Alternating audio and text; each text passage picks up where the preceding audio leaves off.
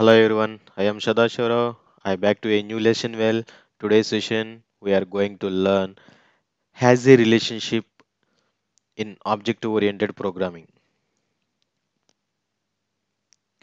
Has a relationship is also known as composition or aggregation.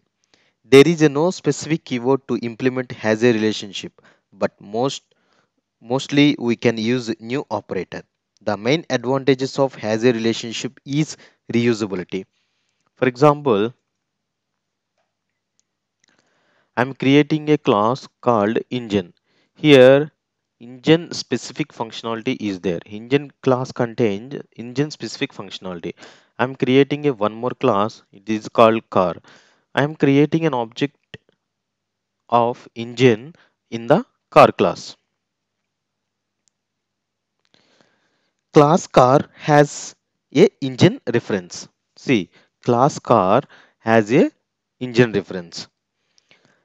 Has a relationship increase the dependency between the components and creates a main, maintains problems. Has a relationship increase the dependency between the components and creates a creates maintain maintain maintenance problems. Sorry. Maintenance problems next i am going to discuss about comp composition versus aggregation. Composition. Without existing container object if there is no chance of existing contained object then the relation between container object and contained object is called composition which is a strong associations. For example university consisting of university consisting of several departments. Whenever university object destroys automatically all the department objects will be destroyed. That is without existing university object there is no chance of existing department object. Hence these are strongly associated and this relationship is called composition.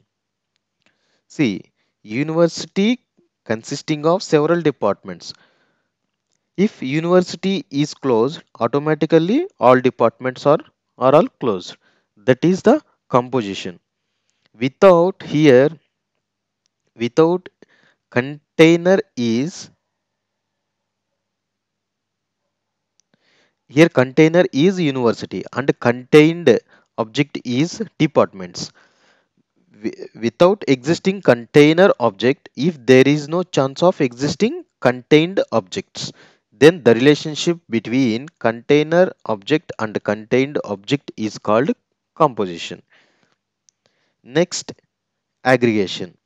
Without existing container object, if there is a chance of existing contained object, such a type of relationship is called aggregation. In aggregation objects having a weak associations. For example, within a department, there may be a chance of several professors will work.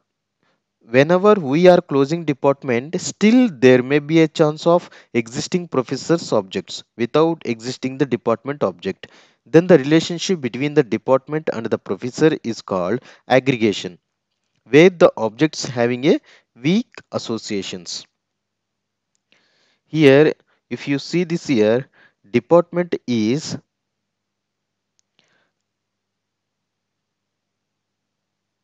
container object. And professors is contained object. See with without existing the container object there may there is a chance of existing the contained object.